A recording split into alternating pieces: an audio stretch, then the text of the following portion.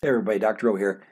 Real quick video, we're going to talk about the three domains of life. So based on cellular organization, cellular, cellular structure, um, all life has been categorized as being in one of the three domains, and that is the bacteria, the archaea, which is how I say it, some people say it differently, and the eukarya. So obviously most of the time you focus on the eukarya, the eukaryotes, because that's where humans are, as you can see from the yellow star there.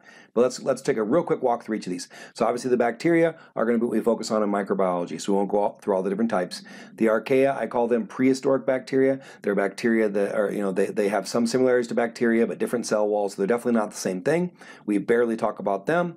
And then we have the eukarya, which to me, the eukaryotes, the ones we care about, fall into four groups. You have the, the animals, like us, you have the plants, you have the fungi, and you have the protists. So that's the one that's not on here. So just real quickly, a protist is basically, it's this grouping of eukaryotes that are not plants, animal, or fungi. So pretty much everything else falls into the group protists. Now they do matter in microbiology though, because um, algae and your protozoa, your single-celled eukaryotic organisms, would be classified as protists. All right, so those are the three domains of life, bacteria, the archaea, and the eukarya. So hope this helps. Have a wonderful day. Be blessed.